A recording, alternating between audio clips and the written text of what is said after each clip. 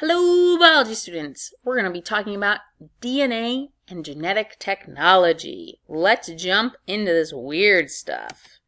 So, we call this biotechnology. It's any technology that manipulates or changes DNA. Sometimes it will be used the synonym term genetic engineering. These words mean the same thing, so you might want to write off to the side synonyms. Here's a really important example we'll touch on in class. So, diabetic patients or people with diabetes have trouble digesting sugars or glucose. They sometimes are missing the insulin protein.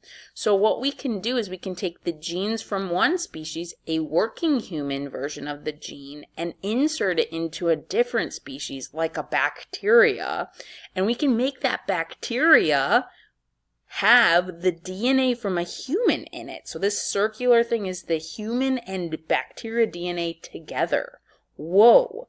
And then this bacteria will make this working insulin gene really fast using protein synthesis, transcription, and then translation. And we can harness that bacteria to make tons of insulin. And it will do it fast and cheaply. And that's how doctors and scientists make shots for people who are diabetic, who need help digesting sugar. We use bacteria to do it. Whoa! But it's all about combining DNA from two different sources. We call that combining DNA from two different sources recombinant DNA. Has the word combine in it. An organism that has DNA from two different sources is also called transgenic. Transgenic is something that has recombinant DNA in it. So, for instance, broccoli, I can take genes from broccoli and combine them with genes from cauliflower, and I can make a transgenic food organism called flour. Now, not everyone will want to eat flour, and I'm not sure if it's a good idea or not, and that's something we have to consider. So that brings us to one type of genetic technology. I can modify organisms and especially modified organisms that become food. People get really worried about that, and that would be what are the risks? People worry that maybe I won't just be doing this with simple things like broccoli and cauliflower. Maybe I'm going to accidentally use something that lots of people are allergic to, like seafood or nuts, and add it to something else and cause somebody to get allergies. This tends not to happen, but people are worried. And they also worry if I'm messing with the DNA, will that make the thing less healthy? Is that broccoliflower less healthy than regular broccoli? I also worry that it will cause different organisms, especially meat products, to be antibiotic resistant. We give cows a lot of antibiotics, that way they don't have bacteria in them. So when I cook the cow or the the pig or whatever type of meat it is or chicken, I don't want to get bacteria from it. But if it became antibiotic resistant, that means those antibiotics wouldn't work. I also worry if I'm creating these crazy organisms that maybe they'll get loose in the wild and they'll become super organisms or super weeds if they are plants and they'll spread all over the place and I'll never be able to get rid of them. It's kind of like a freaky Jumanji or Jurassic Park style scenario which is not very realistic, but people still get worried. There are some benefits. I could always try to create organisms, and there are some that are resistant to being eaten by bugs because they have certain chemicals in them now, or resistant to different diseases that they would have normally gotten. I could also try to combine things like something from a cactus, DNA from a cactus, and put it into a regular plant, which allows it not to need as much water or to now be able to grow in the desert. All of these things would allow me to grow more food and feed all the hungry people on the planet. So cool. But we have to be able to weigh the risks and the benefits and make our decisions because you guys have to make those decisions in your future if you want to be buying these things or creating laws for or against them. We also can use DNA technology to compare different people. Just like how we can compare people by fingerprints, we can compare fingerprints of DNA. A DNA fingerprint is these things. We call these bands. We can separate DNA fragments by size to identify different people. Let's talk about how we do that.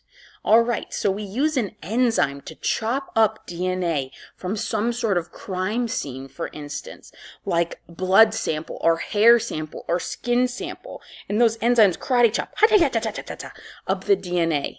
And when they're all in little pieces, we can use an electrical current to move them across a jello like substance.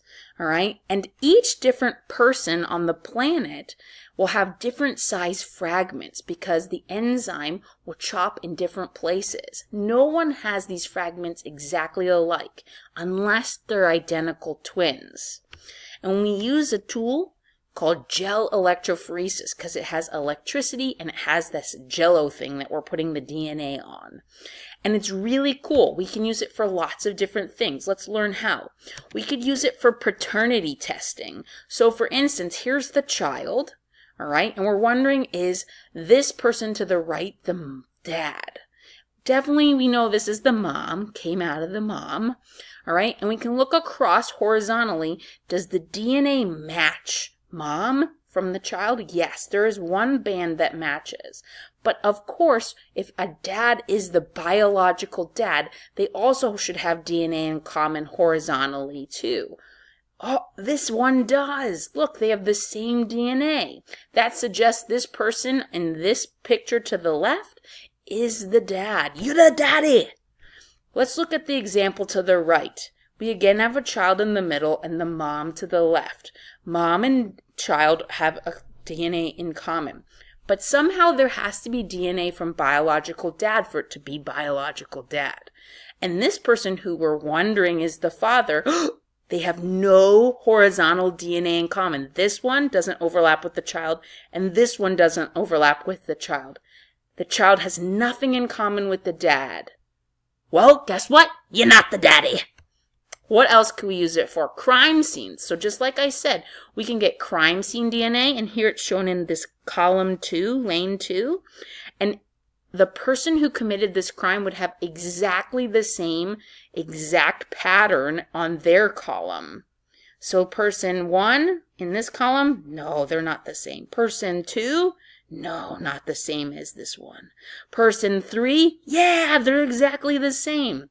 So they committed the crime. We can also use DNA technology to help humans.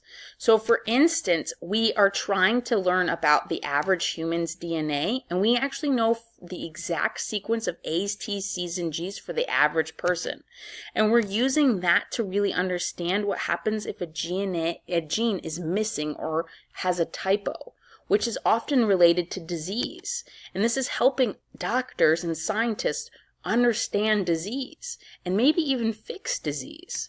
We call trying to fix the disease gene therapy. If I try to replace or cure a defective missing gene, that would be really cool. Scientists are really struggling with this right now, so it's cutting edge. But we're hoping that scientists figure out gene therapy for many diseases in the near future. Some are in trial, but they're not perfect. There's also genetic screening, which means I'm checking does a future child or the current person have a risk for a disease. So I can check do I have a risk for maybe breast cancer? I can also check does my future child maybe have a risk for getting a fatal disease if I am having a baby with another specific person. And this might lead people not to have babies or to select certain genes to put in their babies, which is a little scary. All of this leads to a lot of questions, and there are 10 or so questions we might have. All right, here's one of them. Harmful organisms might accidentally be produced if we're playing around with DNA a lot. That worries a lot of people. People are also worried about if I am increasing the ability to diagnose genetic diseases before birth, does that cause people to decide not to have babies? Should we be changing genes in humans? Should I decide, hey, maybe I want my baby to be super buff and also have purple hair and screw that brown eye stuff? I don't know. Lastly, uh, a couple more. We could maybe be worried about these things if they do start working better, like gene therapy. What if only rich people can use it and people who are not as wealthy can't? Is that fair? What if also we end up using these things to create really horrible weapons that hurt people on purpose? That would be terrible. All these things make people super worried and also really excited. So now you have to make some judgment calls. What do you think?